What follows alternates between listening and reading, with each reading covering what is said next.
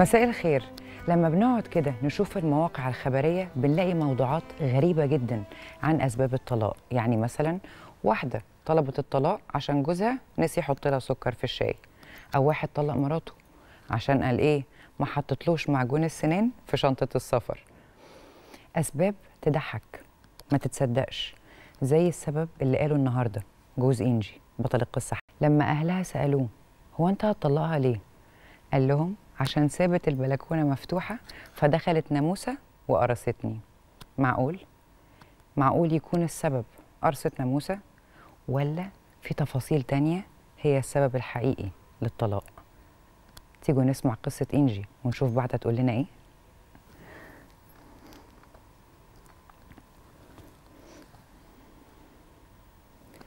اسمي إنجي وعندي 43 سنة اتربيت وعشت جزء كبير جدا من حياتي بره مصر ومريت بتجربة جواز عايزة أحكي لكم عنها.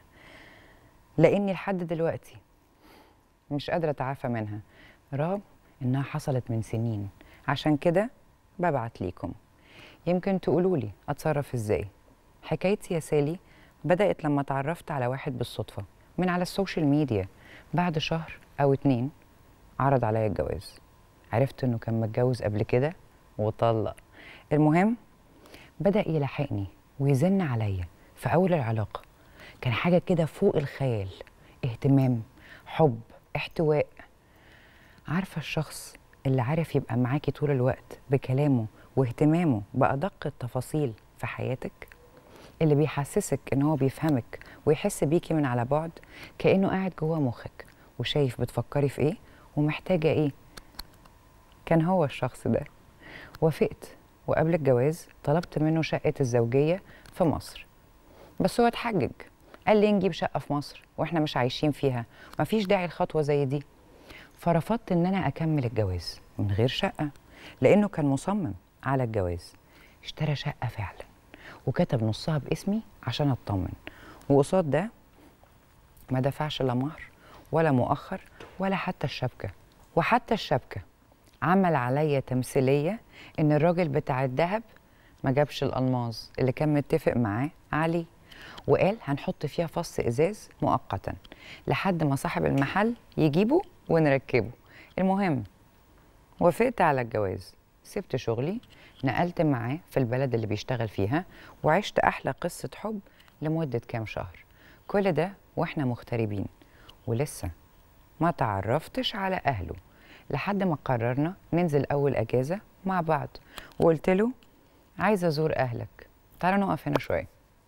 هو الطبيعي لما بنيجي نتجوز يا إنجي إن إحنا لازم نتعرف على الأهل قبل الجواز مش بعده. يمكن عشان ظروفكم إن أنتوا كنتوا مغتربين ما حصلش ده. بس تعالوا نسمع. لما راحت بيت أهله لقيت إيه؟ لما رحت أزور أهله لقيت بيتهم غريب وعجيب. أم قاسية جدا حادة منتقدة مع إنها في السبعين من العمر وأخت كبيرة أقل ما يقال عنها إنها حية. عاملة زي التعبان. البيت نفسه كان عامل زي بيت الأشباح. قضينا فيه أجازة سودة. في البيت ده لقيت نفسي دايما تايهة. دايما كلامي يتقلب ويتحور لشكل تاني. وقصد تاني عكس كل اللي كنت عايزة أقوله. وفي الآخر يتنقل لجوزي بطريقة تانية. ولقيت نفسي طول الوقت بدافع عن نفسي وفي الآخر قلت عادي يمكن تكون غيرة. ورجعنا بعد الأجازة للبلد اللي كان جوزي شغال فيها وحالتنا النفسية صفر لدرجة إنه قاطع أمه لفترة بعد اللي شفناه. بعد شوية رجع يكلمها تاني ويشهد ربنا إني قلت له كلم أمك عشان حرام تقاطعها وهي في السن ده. أما أنا فقررت أختفي تماما من حياتها عشان أقفل باب المشاكل ومحدش يبوظ حياتي. لكن جوزي بدأ يضغط عليا عشان أصالح أهله. قلت له أنا مش منعاك من أهلك وبوصيك عليهم لكن أنا ليا حدودي اللي بحطها مع الناس وطريقة التعامل معاهم واللي حصل مش مناسبني. مفيش داعي تجمعني بيهم قعدة تاني. أو اجرب اللي شفته مرة تانية وخلينا كده أحسن. وكل واحد يعيش حياته بالطريقة اللي تناسبه من غير ضرر ولا ضرار. فبدأ معايا مرحلة جديدة اسمها الصمت العقابي. عشت شهور لوحدي أنا مش فاهمة في إيه. شهور طويلة يا سالي بسأله مالك يقول لي مفيش. أصل عندي ضغط شغل ويفضل سايبني من غير ولا كلمة. طبعا المرحلة دي كانت صعبة عليا جدا. وكنت عايشة لوحدي وفي بلد غريبة معرفش حد فيها وهو ما عندوش ولا جملة مفيدة. حتى العلاقة الزوجية مفيش. وبقيت بكلم نفسي كل يوم ومش راسي على بر معاه. لحد ما في يوم انفجرت فيه وطلعت كل اللي جوايا. ساعتها قام حضني وقال لي حقك عليا. أنا أهملتك فعلا وفضل يسايسني ويهدي فيا لحد ما نزلني مصر. وأول ما نزلنا قام قلب الترابيزة عليا وطلعني طمعانة فيه وده ليه؟ عشان قعد فترة قبل نزولي مصر ماسك في نغمة إنه عايز يبيع الشقة وعايز يجيب حاجة أكبر وأنا كنت برفض لأني بدأت أحس معاه بعدم الأمان. ولأن الشقة باسمنا إحنا الاتنين ما كانش هيقدر يبيع من غيري ولا أنا أبيع من غيره. ولما ما وصلش الحل معايا وبوظت له خطته قطع علاقته بيا تماما. أربع شهور بكيت فيهم بكى بعمري كله. جالي طفح جلدي من اللي عشته انهارت وقضيت أيام صعبة. وهو متخلي عني تماما. وبعد تفاصيل كتير عرفت إنه نزل مصر من غير ما أعرف. رحت له عند أهله في رمضان وتقريبا اتطردت. ورجعت بيتي وأنا ممسوح بيا الأرض.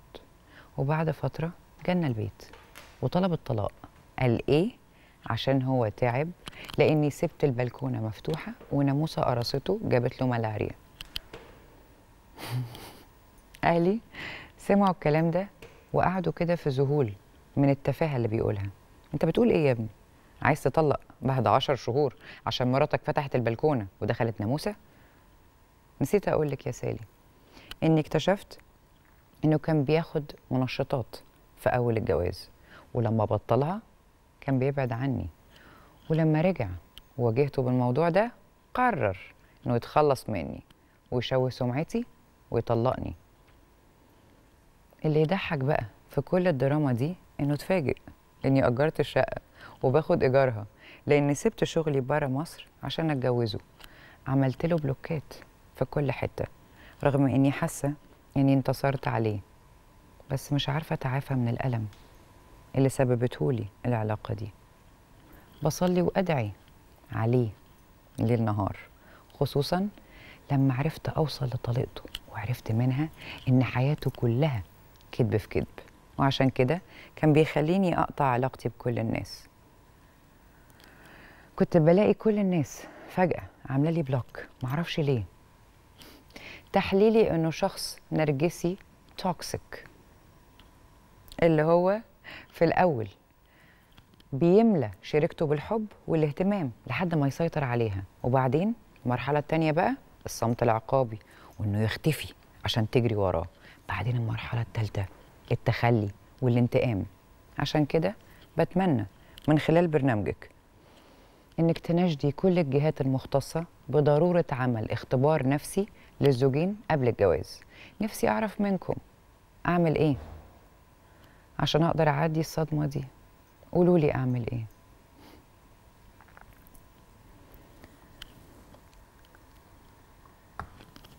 لحد هنا وخلصت رسالة إنجي. رسالة مختلفة عن أغلبية الرسائل اللي استقبلناها. يمكن لأن إنجي في قصتها ما كانتش الطرف الضعيف اللي بيستنجد بينا عشان نجيب له حقه والحقوني و... وأنا مش عارفة أعيش إزاي وأنا اتضحك عليا و... زي القصص اللي بتجيلنا. والغريب بالنسبة لي إنه رغم إحساسها إن هي انتصرت عليه وخدت حقها لسه مش قادرة تتعافى. أو إنها تعدي بقى من من العلاقة الوحشة دي. وده اللي هنتكلم فيه. بس بعد الفاصل. استنوني. قصتنا النهارده عن إنجي اللي كانت عايشة طول حياتها بره مصر. بتشتغل مستقرة والدنيا ماشية. لحد ما اتعرفت على واحد من الإنترنت. مصري؟ مطلق عايش بره مصر برضو بعد شهرين من التعارف الاهتمام واعجابه طلب منها الجواز. قعد يطاردها ويزن عليها لحد ما وافقت. وافقت بس بشرط إنه يشتري لها شقة في مصر. وفعلا اشترى الشقة كتب نصها باسمها. بعد الجواز بفترة نزلوا مصر. أجازة. راحت إنجي تتعرف على أهل جوزها. اكتشفت ان هم ناس صعبه جدا. ما ارتاحتش. لا للأم ولا للأخت وكانت أجازة سودة زي ما هي قالت. ولما سافروا تاني قررت إنجي إن هي تاخد جنب بعيد عن أهله بدل ما تدخل معاهم بقى في مشاكل وصدام و و بس جوزها قال لها تكلمهم وضغط عليها. لما رفضت بدأ يعاقبها. طب إزاي؟ بقى يسيبها بالشهور من غير ولا كلمة. لما كلمها بدأ يزن عليها يبيعوا شقة مصر. اتحجج إن هو عايز يجيب لها شقة أحسن وأكبر. بس إنجي رفضت تبيع وفي يوم اتفاجئت بجوزها نزل مصر. نزلت وراه. راحت له عند أهله. تقريبا طردوها بهدلوها. بعدها بكام يوم راح بيت أهلها عشان يطلقها. قالوا له ليه؟ قال لهم عشان سابت بلكونة الشقة مفتوحة وناموسة دخلت قرصتني وجابت لي ملاريا. انت طالق. مع ان انجي انتصرت على جوزها. خطته فشلت إنه ياخد منها الشقة. كمان أجرتها قانون جديد. ممكن تكون كمان وصلت لطليقته وعرفت عنه كل حاجة. بس لسه جواها وجع. قهرة مش عارفة تتجاوز إيه اللي حصل. وعشان كده منورانا ومشرفانا النهارده. دكتور نانسي لبيب استشاري الطب النفسي. ازيك يا دكتور نانسي. ازيك يا سيدي أخبارك إيه يا نور قصصك القويه جدا شفتي الناموسه والملاريا. أنا نفسي أعرف. بجد يعني بتلاقي فجأة الناس بعتت لنا قصص تقري العنوان تتخضي يعني أنا قلت معقول هيطلعها عشان ناموسة وبتاع. فقلت كمان عايزة الناس تسمع. إيه اللي جوه التفاصيل؟ نسأل بقى شوية أسئلة مهمة في القصة. قولي. الأول. هم عرفوا بعض قد إيه. آه، شهرين واتجوزوا معقوله ده وأنتي بخبرتك بقى كدكتورة الناس تعرف بعض قد إيه. أنا رأيي آه، ست شهور آه، تمن شهور سنة. برافو يا سالي برافو. اتعلمت خلاص أنتي منكم. مذاكرة. آه. برافو. لو ست شهور يبقى كل يوم. لو سنة يبقى يوم ويوم يعني متقطع. ولو إحنا في long distance وعلى لا long distance دي it's not enough على الأقل زيارتين ثلاثة أربعة للأهل. Doesn't count طبعا. أصلا. لأن التفاعل اونلاين حاجة والتفاعل وإحنا متقابلين حاجة. خاصة في العلاقات الشخصية دي. بس هي she was very happy هي كانت مبسوطة جدا في الأول وعاشوا قصة حب و... يعني أول ما اتقابلوا أنا قصدي مش أول ما كانوا على الإنترنت. مم. كانوا مبسوطين جدا ومش عارف إيه طب فإيه؟ ما هم ما تقابلوش كتير. مم. يعني لا أنا قصدي عاشروا بعض بقى من العشر شهور دول. بتقول لك كام شهر كانوا شهر عسل. بداية العلاقة. إيه ده بجد؟ هو بداية العلاقة بتبقى حلوة قد إيه بقى يا دكتور؟ يعني حلاوة البدايات دي بتستمر قد إيه؟ السؤال ده مهم it جدا depends. لا it depends. على إيه؟ كل بتعتمد على إيه؟ كل الريسيرش والكتاب والمؤلفين اتفقوا على إنها بتفرق. من مين لمين؟ لشخص لشخص ولا؟ آه. بجد؟ وبتفرق الظروف وبتفرق الناس اتجوزت ليه. بتفرق جدا طب جدا أطول جدا. فترة يعني مش هقول لك أقل فترة لأن إحنا بنسمع كل يوم. أطول فترة بتبقى قاعدة كده انه حلاوة البدايات كانت أقصى قد إيه؟ حاجة ممكن توصل لسنتين. بعد كده فجأة بنفوق على الما على قصدي الحاضر الأليم بنفوق على الواقع مش. آه. لازم يبقى أليم هي مراحل بتاعة العلاقات أول مرحلة اسمها الافتتان الإنفاتيويشن. إن أنا بفتتن بيه ده ده. بالحالة كانوا حواليا وبيحبني اللي جات لي من السماء وباللي بيحصل. أكيد ده العوض. عارفة هو انت العوض. آه برافو عليكي. آه. وقرة عيني آه والحاجات طبعا اللي سيبونا بتحصل في حالنا بقى يا جماعة. اللهم بارك. ما شاء الله سيبينا في حالنا. أيوه. أيوه وتلاقي كوارث فاهمة؟ فبعد كده بنبدأ بقى الافتتان يهدى والهرمونات بتاعة المخ تتغير ونشوف إيه اللي بيحصل. ونبدأ نخش في مرحلة تانية بقى بتتكلم عن الواقع. أقصر فترة إن أنا أشوف. الواقع بتبقى قد إيه. برضو بتفرق بس في ناس ممكن ده يقعد معاها أسبوع مش أكتر. أسبوع بعد الجواز؟ آه وقبل ممكن. يعني م- من ناس مش زي بعض خلينا ما نسميش إن أي اتنين زي بعض. بس لك على حاجة نانسي في ناس مهما الناس هيفوقوا على الرياليتي. وهم لسه مخطوبين. ما هو فعلا فاقوا على الحقيقة وكل حاجة بس أنا عايزة أقول لك على حاجة إنه مهما أنا قعدت أقول آه، ده كويس ده ده ده. بعد الجواز حاجة تانية خالص. آه اسالني أنا. بقى يا معلم مش أنت الدكتورة؟ ده قصة تانية. أنا بقى. لا بعد Yes. الجواز حاجة تانية تمام بتشوفي كل حاجة. مهما كنتوا مخطوبين كتير ومهما شفتي الأهل ومهما في عرفتي وما النهاية بتشوفي كل يوم الجواز فيه وليل. أفعال مختلفة. لا اللي أنا أقصده إن فعل الاستقلال مش مم. مرحب بيه مع إنه هو فعل إحنا المفروض نشجع عليه أكتر علشان الناس تفهم يعني إيه مسؤولية يعني إيه بيت يعني إيه إدارة يعني إيه منزل يعني إيه أحس مش لوحده. باللي بيحصل مش ده لوحده بيحصل. إزاي يعني ده بيبقى اتنين مع بعض يعني لا، أنا هو بستقل فعل الاستقلال ملوش علاقة بأي اتنين ما هو لو هو استقل فعل لوحده يعني انت لو لو انت قاعدة. لوحدك ومستقلة وكويسة وكل حاجة وتمام هتفكري في الجواز طبعا في راجل هيفكر في الجواز لا لازم هنفكر فيه لأن الفطرة رايحة ناحية الانتماء إن إحنا ننتمي لكيان ننتمي لمنظومة ننتمي لآخر. مم. إحنا مخلوقين بنحتاج لبعض يا سالي إن إحنا نبقى مع حد وكومباني زي ما بيقولوا كده شريك بالظبط كده كومبانيون آه. الفعل التاني اللي بيعمل أزمة هو فعل المساكنة. إحنا مم. بنبقى في حالة في الخطوبة إن كل واحد بيروح بيته منطقة الأمان يقابل ناس ما بيجي يقعد. معانا في البيت وبيتفرج معانا على المسلسل وساعات بيروح في النهاية بيقلع الجزمة مثلا والافلام تقول لك بيقلع الجزمة وبنشوف بقى لما بيقلع آه، الجزمة بنشوف لبسه بيبقى عامل إزاي بتتفرجي على الشراب بتتفرجي على لبسه بتتفرجي على ضوافره ما بيبقى قاعد معانا في في البيت حدود برضو برضو، في ها؟ حدود والعدد ساعات محددة ولو كل يوم فمش كل أسبوع غير بقى فعل نكشة الشعر الصبح. بقى وال آه أيوه كده دي بتبقى حاجة بقى تماما والبيجامة. والحركات دي في واحد فعلا كان بيقول كده واحد. قاعد بيقول طلقها طلقها عشان بتصحى منكوشة الصبح كده يا حودة محمود والله عمل كده قالت لك كده يا حودة لو جايبين واحدة منكوشة يقول لك معقول آه، كده حصل مني كده يا حودة آه. في رجالة بتبقى كده أو في رجالة بتمسح الميك اب بجد بيتصدم خليني أقول إن الرجالة في. التعبير بصي أنا. جالي حد من الرجالة دي كذا مرة مم. الرجالة في التعبير عن اللي ضايقهم في المنطقة دي بيتحفظوا جدا أكتر من الستات إحنا بنحب نعبر على الآخر يعني okay. إيه؟ بيتحفظ على يعني إيه؟ بيبقى مضايقه فيها حاجات في النظافة الشخصية بس ما يقولهاش. يقول لك أصلها بتصحى منكوشة.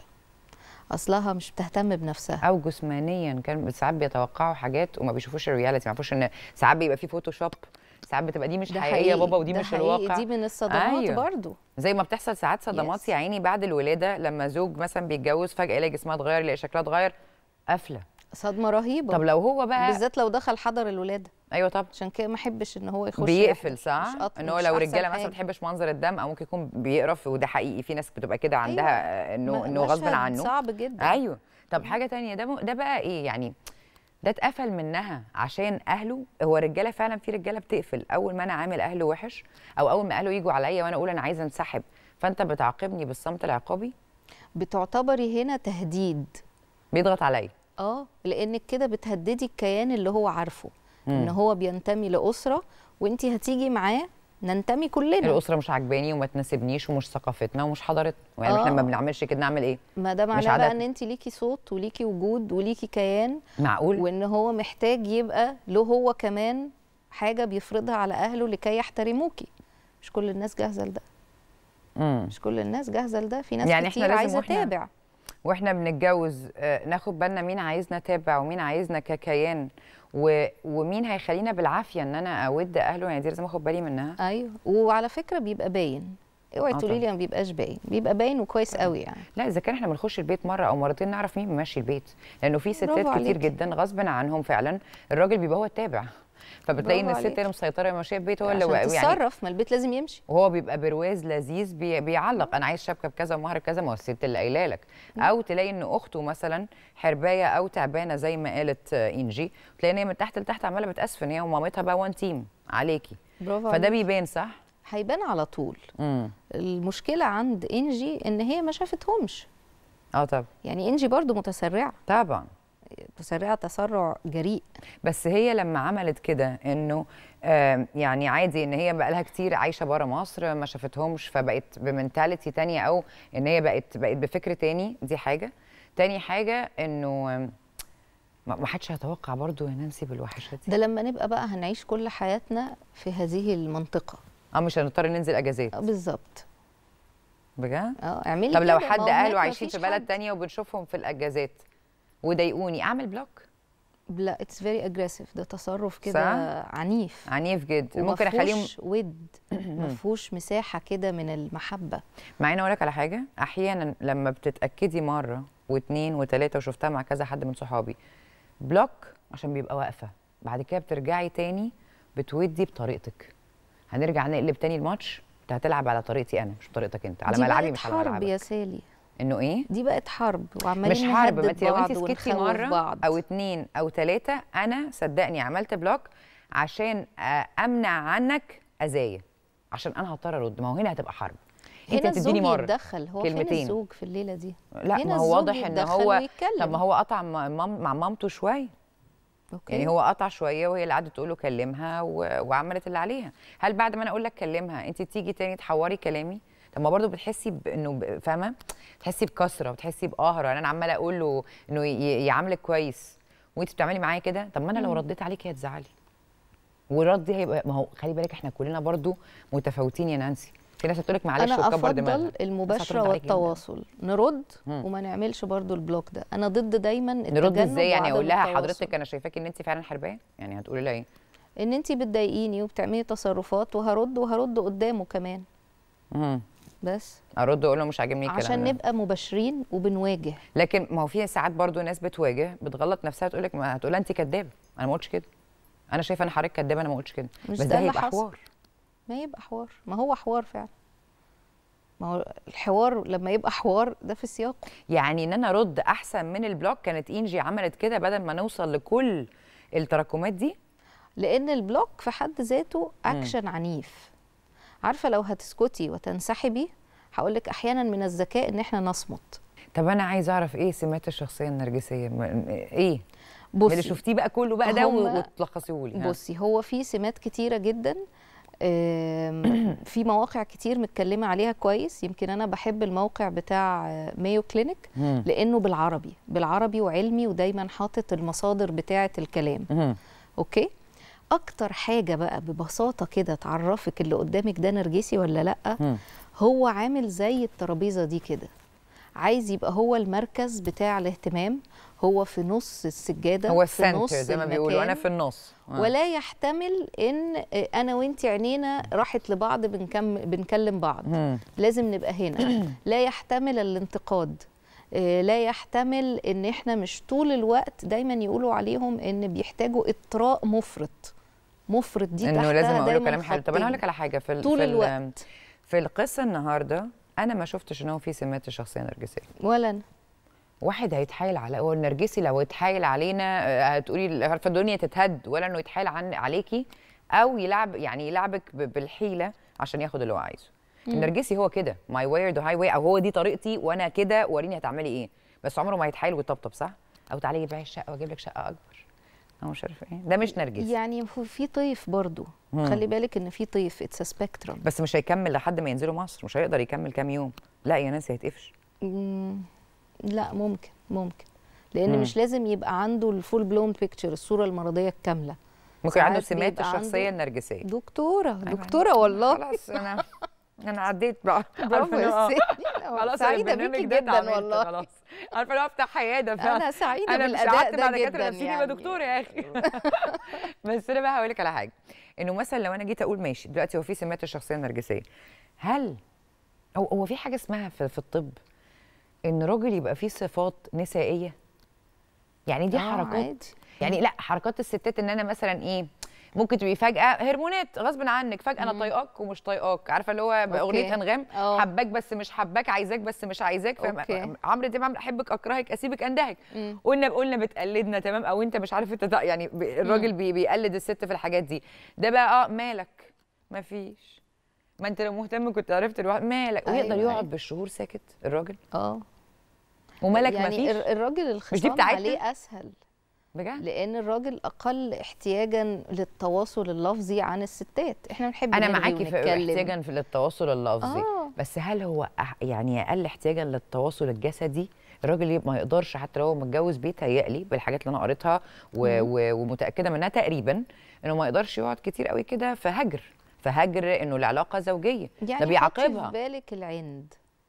عنده ولا عشان ممكن يكون بياخد منشطات فهو. غير قادر إن هو كنرجسي طبعا إن هو أنا بتاخده فلا ما انت أصلا ما تستاهليش أنا حتى آخد عشانك الدواء. يعني أنا غلطان دي كنت باخد قصة الدواء بقى دي قصة تانية رهيبة. امم ده بيقع فيها ناس كتير قوي يا حرام آه. بجد. لأن ملهاش حل في التقييم. آه. ما هي دي ما- حاجة اللي هو إيه ما نقدرش نتجنبها. تتجنبي إزاي؟ لا طبعا. وما أقدرش إن أنا أحكي عليها لأنه هبقى قلة الادب وهبقى ضد عاداتنا وتقاليدنا وابقى بفضح أسرار بيتي طبعا. أو هيتقال عليا انت إيه اللي نورك وعلمك الكلام ده من إمتى؟ يس انت لسه متجوزة انت بنت امبارح ما جاليش نوم انت اتعلمتي فين الكلام ده؟ وإزاي كده؟ آه. إزاي وإيه ده؟ ومفيش بنت مؤدبة بنت ناس تتكلم في الحاجات دي. وإن كان عشان مم. نبقى حقانيين آه. مش كل الأهالي بيعملوا كده. أهالي كتير بيوفروا بقى على بناتهم وولادهم لا أنا مش قصدي أهالي الزوجة. لا ده في أهالي محترمة جدا أهالي كويسة آه. جدا بتحتضن البنت وتروح وتسمع وتشوف وبيواجهوا كمان الزوج. بس المشكلة لما الزوج بيتواجه هو وأهله هم دول اللي بيحاولوا يشوهوا السمعة زي ما هي قالت النهارده. إنجي كانت بتقول وحاول يتكلم في سمعتي وحاول يشوهني وحاول يقول قدام أهلي. إيه ده إيه ده؟ يعني أنا عايزة أفهم ده بقى إيه؟ تفتكري يا سالي المواجهة هنا كان ليها لازمة؟ في الجزء ده بالذات. بجد؟ لا ده الجزء ده حلو. لأنه خلي بالك دي تقهر أي راجل. يعني أنت قهرتني. أنا عارفة إيه مناطق القوة ومناطق الضعف. ما هو. الست لو جاي قال لها أنا أنا شايفك واحد صاحبي. ده انت زيك زي حمادة. لا توجعك قوي يعني عارفة أنت ممكن تاخد مني الشقة ولا تقوليش إن أنا تخنت ولا تقوليش إن أنا شبه حمادة. أوكي. غصب عنك بتوجعك. إنه لما يجي يقول لك مثلا إيه كل ما أقرب لك بحس إن أنا مش مش طايق مش قادر. تتوجعي. لأن فانت لو رحتي قلتي له لا ده أنت أصلا كده أو كده أنت كده وأنا ما رضيتش أقول لك أو أنا اتاكدت ان انت كده لا دي تقدي ده انت ضربتيه في مقتل. يعني يا إنجي تقول لك أنا مش عارفة أتجاوز مش عارفة أتخطى أنت ترجعي له إزاي أصلا وأنت عايز ترجعي له؟ يعني ده ده انت ده, ده, ده 10 صفر. مم. هل ينفع إنه لو الزوجين اتكلموا في المواضيع دي يرجعوا تاني لبعض؟ ينفع. والأهالي سمعت والكلام ده؟ لا. ينفع. ينفع. إزاي نانسي؟ في النهاية بيبقى في حاجة بتجمعهم هي اللي هتخليهم يتكلموا. حاجة أكبر حاجة أشمل. العلاقة اللي وفي ما حاجات. كتير ليها علاج مم. يعني مش كل حد عنده مشكلة في العلاقة الحميمة هو حد عقيم وملوش حل وملوش علاج لا طب في حاجات كتير طب يعني جدا يعني هو هي. النهارده ممكن ترجع له في يوم من الأيام أصل هي راحت واتطردت ولسه بتفكر فيها أنا مش مصدقة كنت عايزة عايزة أسمع. أسأل سؤال مهم آه هو أنت اتجوزتي ليه؟ عشان كان بيزن عليا فأنا كنت زهقانة بس ولا كان إيه؟ حواليكي و... أحيانا بتمري في فترة فعلا بفترة غصب عنك. آه بتبقي مثلا انت بره في غربة آه عايزة تسمعي كلام حلو آه لوحدك. اهتمام. يعني فاهمة؟ ده اهتمام. واهتمام وحب وموجود وطبعا حلاوة البدايات زي ما بقول لك فجأة تبقي تفكري في شوكليت يجيب لك شوكولاتة عايزة ورد عايزة مش عارف إيه وعدني ألف وعد. عارفة. الجو ده؟ أوكي. فهي أكيد دي حرام برضو آه، اتغفلت شوية بس هي بدأت تحس بعدم الأمان ففاقت. خلينا نقول لإنجي إن مش عيب إننا نحتاج وهنفضل بنحتاج طول. ما إحنا عايشين. بس نفتكر لإنجي وللبنات التانية إن جنب احتياجي وجنب ما بفكر ألبيه إزاي وبكون طبعاً. عصرية طبعا. أفكر برضو في الحياة هتتبني على إيه. وبس. لا، من وحاجة غير ما. نتعقد يعني. حاجة تانية إنه تقعدي تفكري ده خلى الناس كلها تعمل لها block. خلى مش عارف إيه لأنه انسي دي من السمات الشخصية بقى لما يبقى عايز يسيطر على حد لأ أو عايز تفرض بيها يعني آه واو. فيبدأ يعمل العزلة عزلة كده يعني من هو كان بيقول للناس من كلام عليها من وراها. الدواير عشان تبقى معاه هو بس آه فيقدر إن هو يمارس الضغوط بتاعته. عليها آه هي سابت الشغل راحت بلد تانية. جديدة آه. من غير ال support circle بتاعتها من غير أهل ما هي بالظبط من فكل حاجة. الحاجات دي بتساعد مم. إيه الحاجات اللي انت لو لو عملناها مع الناس هتقولي لا الجوازة دي عمرها ما هتنجح؟ أنا آسفة. الحاجة اللي مهمة جدا وعليها توصيات كتير مم. لو إحنا هنعمل تقييم نفسي للصحة النفسية للأفراد. مم. الأفراد اللي هم مدمنين وفي حالة إدمان أكتر. لا ده ما يتجوزش. الافراد بيتجوزوا. الأفراد اللي عندهم حاجة في الهوية الجنسية اضطراب بأي شكل. يبقى حرام عليك و و و وعلى المسؤولين الأفراد عنك. اللي عندهم أزمة بقى في العنف. دول طب، اللي بيبقى سادي أو- حالة أو- من أو. حالات العنف الأسري بقى اللي هو لا يمكن أشجع الجوازة دي إنها تتم. دي أكتر ثلاث حاجات ودي ممكن تعرفيها على طول يا. نانسي يعني ممكن نبص على البني آدم محتاجين كام سيشن أو كام جلسة معاه عشان نعرف لو انت حتى كدكتور خلي بالك أنا ممكن ما ألاحظش يعني في ناس ما بتلاحظش مثلا إن في ناس بيبقى عندهم مرض نفسي بيحب يقعد مع مامته. تربية عيلته الستات آه، فاهمة؟ تلاقيه بيتكلم زي الس... فجأة بتلاقيه بيتكلم زي الستات في الخناقات. فين الصيني بتاعك. عارفة لو دي كلمتك أيوة. ولا كلمة مين؟ تعالى هنا. تعالى هنا أنا عارفاها. أنا قفشتك. أيوه دي ماما مش انت ها؟ ولا تيتا اللي قالت لك بنت الإيه؟ بتلاقي فعلا إن في كلام لأ ولا دي أختك. ف... فده تقدري تعرفيه ولا مش سهل؟ لأ ده مش هيتعرف. طب نعمل إيه؟ الاضطراب هو اللي هيتعرف. آه. الاضطراب إن حد عنده سكيزوفرينيا ده هيبان. إن مم. حد عنده اضطراب مزاجي ده هيبان. بس ده الناس العادية ما مدمن المخدرات هيعمل التحليل هيتقفش. لا بس المدمن يعني بيبان ساعات إيده بتبين ساعات حركاته وهو قاعد ساعات مش عارف إيه تحت عينه. لكن أنا قصدي لو حد عنده إنه شيزوفرينيا زي ما بتقولي أو إنه عنده بارانويا أو أو أو, أو الحاجات دي ده كلها. هيبان بسهولة. إحنا المواطنين العاديين ممكن نعرف أو واحد. نرجسي أو سام أو لا المتخصص هيعرف. أيوه أنا آه. قصدي بقى كده لكن إحنا مش هنقدر نعرف. إحنا هنقدر نقرا ونقدر بقى نصدق احساسنا يا سالي أرجوكي يعني انت العوض هقول لها هعيدها لك تاني ما فيش حد شفته مر بحاجة زي كده ورحت سائله طب نرجع لورا سنتين. وده بيحصل هل كان قعدت عندك عمره ما إحساس هيسعدني. إن في حاجة غلط آه. غير وكانت الإجابة هو أنا حسيت بس قلت ما يمكن أنا بيتهيألي آه خليني أكبر دماغي مم. ما يمكن هو مضغوط مراية الحب عاميه أو بتحسي إنه مش مش مش مش بتاخدي يعني مش بتاخدي بالك وساعات بتقولي أنا أفوت عشان لا أفتح الاحتياج يا بيت و... خلينا أصدق من كده. الاحتياج صح؟ آه. الاحتياج يعمل فينا كده يخلينا إحنا نمرمط نفسنا؟ وعدم الثقة في إن هلاقي فرصة تانية. آه. هي دي. إنجي لما راحت لأهله كان إيه؟ كان احتياج ولا كانت عايزة حقها ولا كانت عايزة انتقام؟ انت إيه رأيك؟ إنجي مش بعتلنا عايزة انتقام. مم.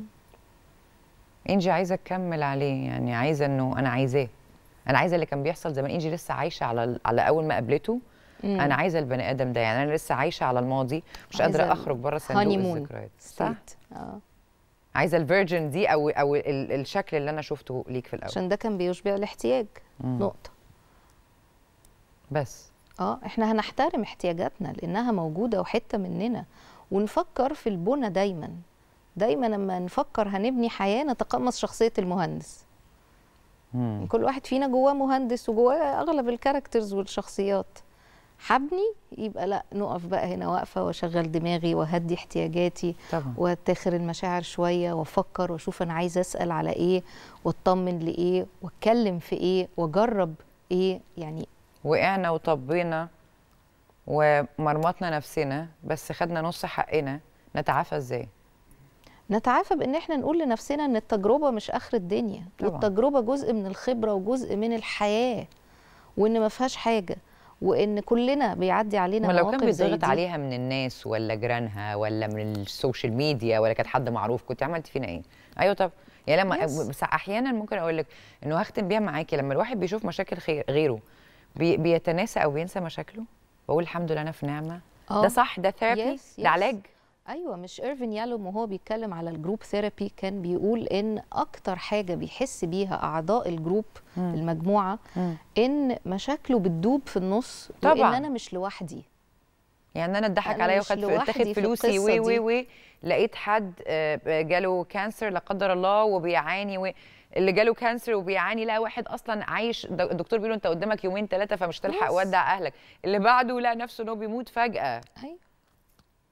فالدنيا بت- بتهدى بنهدى لما بنقابل المشاكل التانية. امم هختم معاكي في دي نورتيني يا نانسي. ميرسي استفدت منك النهارده. ميرسي خالص. شكرا ليكي. ميرسي يا حبيبتي. على إيه؟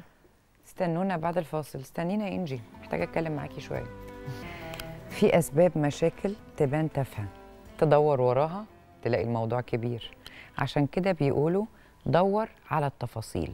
ولما تدور في الأخبار والموضوعات اللي ساعات بنلاقيها في الصحافة أو حتى على السوشيال ميديا كل يوم حالات طلاق أو خلع عشان أسباب إيه؟ تافهة. طلق مراته عشان عايزة تروح المصيف تجننتي. أو عايزة كحك العيد كمان أو بسبب ماتش كورة أو كوباية شاي. ده غير اللي طلق مراته على الفيسبوك أو ببوست وغيرها كمان وغيرها وغيرها من أسباب عجيبة وغريبة. إيه ده؟ لما تدور بقى تقعد تفتش كده في التفاصيل هتلاقي إن الأسباب دي وراها أسباب تانية. أسباب عمالة تتراكم بتهد في أساس البيت بقالها فترة بتسحب من رصيدنا في الحب والعشرة بالتدريج. لحد ما الزوج والزوجة خلاص بقوا مش طايقين بعض. فجأة ينفجروا لأسباب غريبة. تقعد تسمع كده حاجات ما تخشش عقلك. بس ده اللي حصل في حكايتك يا إنجي. اللي يبان إن أنا عايزة أطلقها بسبب قرصة الناموسه بس قبل القرصة بقى. كنت انت وجوزك مهيئين نفسيا جدا للانفصال. كان في أسباب كتير تخليكم إن أنتوا تسيبوا بعض. زي مثلا إن أنا اتسرعت في الجواز أو اتسرعت في الاختيار. خلوكي تستجيبي عشان زنوا يلا نتجوز بسرعة. قبل ما تشوفي أهله بيتعاملوا إزاي في البيت مامته وباباه بيتعاملوا إزاي. أخته عاملة إزاي؟ انت عرفتيه على الإنترنت. وكل الناس حلوة على الإنترنت على ال keyboard من ورا شبكة أو من ورا من ورا screen. جميلة. ما عرفتيهوش. ما عرفتيهوش معرفة حقيقية على أرض الواقع. مع إنك أهو لما عاشرتيه بقى معرفة حقيقية عشر شهور عرفتي تحللي شخصيته. قلتي عليه شخص نرجسي بيعمل لك صمت عقابي toxic أوسم. جدعه فهمتي في علم النفس. ده غير كل ده بقى حسب كلامك. اننا برضو يعني ماشي toxic ماشي وحش ماشي قاعد يتحايل عليكي ان انت تبيعي وي وي وي. بس أقول لك على حاجة إحنا ما سمعناش من الطرف التاني حاجة. حسب كلامك برضو أقدر أقول إنه ممكن يكون في سوء اختيار من الأول. في فرق بين ثقافات الأهل مثلا هو ممكن يكون سبب الطلاق الحقيقي من وجهة نظري ما أعرفش.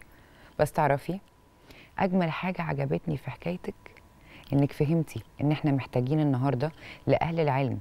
والتخصص عشان يساعدونا في طريقة الاختيار ونختار صح زي إننا مثلا نعمل اختبار للزوجين قبل الجواز طب تخيلوا معايا كده لو ده بقى شرط إلزامي لازم يبقى لازم أي اتنين مقبلين على الجواز يخضعوا. يعني يعني تعمل لهم اختبارات نفسية كده يقعدوا يشوفوا إنه ينفعوا ولا لأ آه عصبي آه هي هادية آه مش عارف إيه يشوفوا بقى متخصص يعتمد عليه كده وحد يكون معتمد يقدر يقول أنتوا تنفعوا لبعض ولا لا. تخيلوا بقى كم حالة طلاق ممكن تختفي من حياتنا. بالمناسبه عايزة أقول لكم على حاجة. الدولة عاملة شغل هايل في ملف الجواز في مصر. زي مثلا مبادرة مودة التابعة لإيه بقى؟ وزارة التضامن الاجتماعي. عشان تفهم وتوعي المقبلين على الجواز إيه هي أساسيات الجواز الناجح؟ وإزاي يتفادوا المشاكل والخلافات؟ أو يتجاوزوا الخلاف في وجهات النظر ويعرفوا يقربوا من بعض. ده غير مبادرة كمان إيه بقى؟ فحص المقبلين على الجواز تحت شعار 100 مليون صحة. بتعمل إيه؟ إجراء تحاليل بيعملوا تحاليل طبية للعريس والعروسة بمدة ما تقلش عن 14 يوم قبل الجواز. كمان بيعملوا إيه؟ كشف مبكر مثلا لو في أمراض معدية لو في أمراض مزمنة. بتوفر إن أنتوا تتابعوا مع دكاترة بعد كده. وأنا بضم صوتي لصوتك على فكرة إنجي. بخصوص إن إحنا نعمل اختبارات نفسية كمان. بجد بقينا محتاجين. تهيألي انت قوية قوي إنك تقدري تعدي مشاكل العلاقة دي. علاقة وحشة مريتي بيها. عايز أقول لك على حاجة. أنا ضد فكرة الانتقام. مش هتستفادي حاجة. هتفضلي فرحانة إن انت انتصرتي بس هتفضلي فاكرة تفضلي موجوعة تفضلي بتأذي نفسك وبتأذيه. الحاجات اللي هتأذيكي انت هتأذيه هو واللي هتأذيه هو هتأذيكي انت. بقول لك إيه؟ بصي لنفسك. بصي لمستقبلك عدي بقى العلاقة دي. برضو في نقطة مهمة لفتت نظري كنت عايزة أعلق عليها. ما ينفعش إن أنا لو حصل حاجة بين أهل جوزي وإحنا متجوزين اقاطعهم خالص. ممكن آخد جنب ممكن ما يعجبنيش الكلام ممكن أقصر ممكن أخلي اللي قدامي يعاملني بالطريقة اللي تعجبني أنا. لأنه ده عايزة أقول لك أحيانا وسمعت قبل كده من دكاترة نفسيين حتى لو دكاترة نساء أو أو أو أو أو. وده كان سبب في إنه بيبعد عنك وكان بيعاقبك. الزوج لما يلاقي الزوجة مش كويسة مع أهله ساعات بيعاقبها بالطريقة دي طريقة وحشة قوي ومش هي دي الطريقة حتى إنه تاخد حقك بيها أو تفهمها بالراحة بيها. ربنا نجدك يا إنجي. بس أنت طلعتي كسبانة. خدتي نص الشقة ورحتي أجرتيها و... أنت برضو مش ضعيفة قوي كده. بعدين عايزه أقول لك على حاجة. وأنا عمالة أقرأ القصة كذا مرة وبذاكرها آه إزاي اتضغط عليكي كل الضغط ده وانتوا الاثنين هناك مغتربين ولسه متجوزين و10 شهور وعمال يتحايل عليكي ويدلعك وحقك عليا؟ وبرضه ما وافقتيش ان انت تبيعي الشقة. دي قوة. طب والله جدع أي واحدة مكانك زي ما بيقولوا كده بالبلدي كانت نخت كانت عملت اللي هو عايزه. اتضحك عليها بكلمتين. انت جدعة معلش ما يقع إلا الشاطر زي ما بيقولوا. وهستنى منكم تبعتوا لنا على فيسبوك وتويتر وانستجرام وواتساب تقولوا لنا إيه الأنواع اللي ممكن أنواع عقاب ممكن يعملها الزوج لو كان فيه أي عيب أو ناوي على انتقام أو عايز يهرب أو زي ما قالت إنجي نرجسي هو اللي طمعان مش هي اللي طمعانة. عايزه أسمع كده عن أغرب أسباب للطلاق شفتوها أو مريتوا بيها. هتبعتوا لنا هنا في قصة حقيقية عشان كلنا نوعي بعض ونتعلم من بعض. بس أهم حاجة تكون قصة حقيقية. باي باي